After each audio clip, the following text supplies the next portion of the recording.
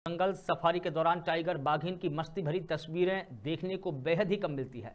पर्यटकों को इस तस्वीरों का अद्भुत नज़ारा भी अगर यदि देखने को मिल जाए तो उनका दिन बन जाता है। वहीं मुंगेली ज़िले के लोरमी में, लोरमी के टाइगर रिज़र्व में पर्यटकों को टाइगर बाघिन नज़र आई। जिप्सी में सवार पर्यटकों को सरई पानी के कच्छ में 100 क्रमांक नंबर एक सौ बानवे में टाइगर दिखा, जिसकी तस्वीरों को पर्यटकों ने कैमरे में कैद किया है। साथ ही यह खूबसूरत नज़ारा सीसीएफ ने सोशल मीडिया पर भी शेयर किया है।